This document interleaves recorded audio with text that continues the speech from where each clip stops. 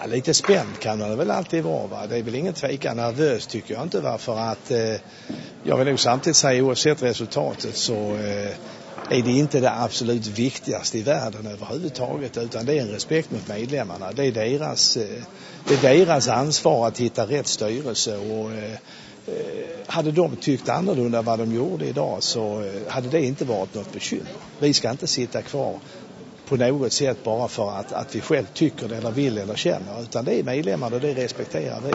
Det har diskuterats oerhört mycket från och till och fortsatt fram och tillbaka.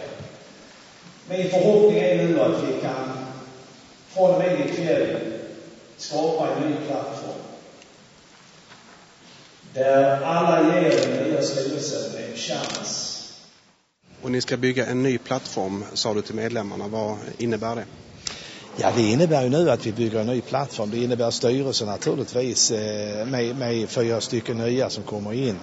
Eh, där vi nu kan bredda, vi kan, kan jobba med arenabiten, bättre marknadssidan ytterligare på sitt sätt och eh, kanske få en e-, ytterligare ekonomiskt tänkande uppföljning framöver. Efter all turbulens kring HIF och kritik mot styrelsens arbete valde styrelsen i september att utlysa ett extra årsmöte. Nu var det upp till medlemmarna att besluta om den nuvarande styrelsen och ordföranden skulle sitta kvar och det blev alltså ett rungande ja för Stenninge Fredin. Dessutom valdes fyra nya ledamöter in. En av dem är den förre HIF-spelaren Jesper Jansson som nu ska se över organisationen kring fotbollen. Nej, jag ska väl först här från en styrelseposition att vara tillsammans med de andra lägga upp en lite mer röd tråd i föreningen och en, en strategi vart vi vill nå på det sportsliga. Då. Och, ja, det är väl huvuduppgiften till att börja med. Och din första uppgift är inte hemlig?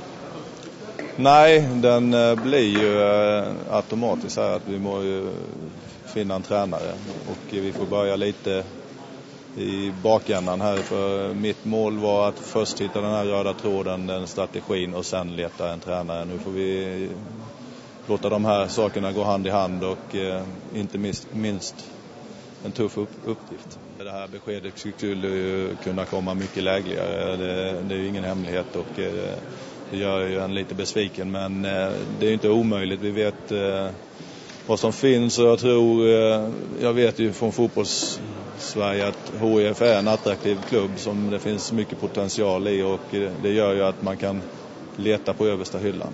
Du och förre tränaren Stuart Baxter skildes åt på Ängelholms flygplats häromdagen. Var det sista gången ni sågs eller har ni pratat mer om det som har hänt?